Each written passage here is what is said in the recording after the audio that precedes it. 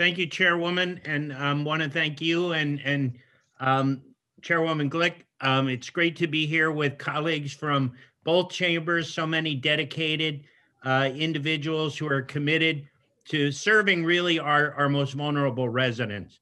And just speaking on the OASAS side of the shop, uh, the the the pandemic um, has been um, you know really uh, decimated um, our substance use disorder patients.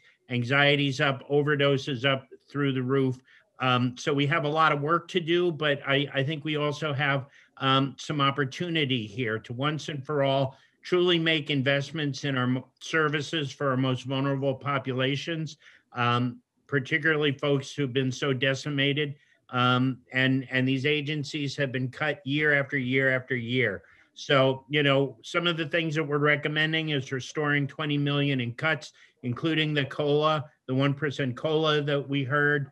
Um, we, we are supportive of the proposed merger with OMH and OASAS, but we're proposing language with guardrails to really make this a patient-centered merger and not just something for administrative savings. Um, order to allow billing for peers for telehealth uh, parity for telehealth for office visits, um, guardrails, strict guardrails around the opioid settlement funding coming to New York to ensure that it goes right to treatment. Finally, getting prior authorization for MAT um, Medicaid done right.